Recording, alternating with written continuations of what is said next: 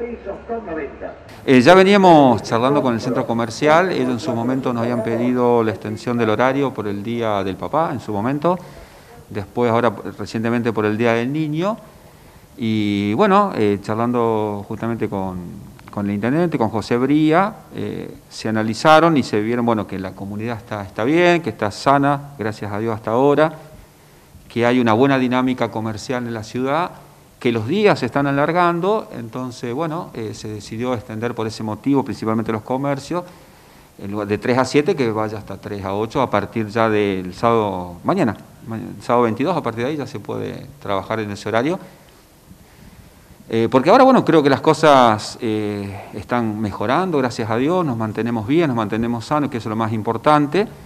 Y la idea es siempre apoyar, contribuir con pequeños gestos a la parte comercial, nuestro sector que es tan importante en la ciudad de Morteros. Y respecto a los locales gastronómicos, ¿también tienen una extensión en su horario comercial o eso se mantiene hasta el momento? Por ahora lo vamos a mantener, eh, pero sí les aclaro a todos aquellos interesados que yo he tenido varios requerimientos, que es lógico que los pidan, sus argumentos son válidos, eh, ellos se basan en el hecho de que eh, una hora más para ellos sería muy importante, bueno, porque le agregaría el tema de la facturación, que sabemos que es muy importante en esta época. Yo sí por ahora a ellos les sirve, les damos tranquilidad de que lo estamos analizando,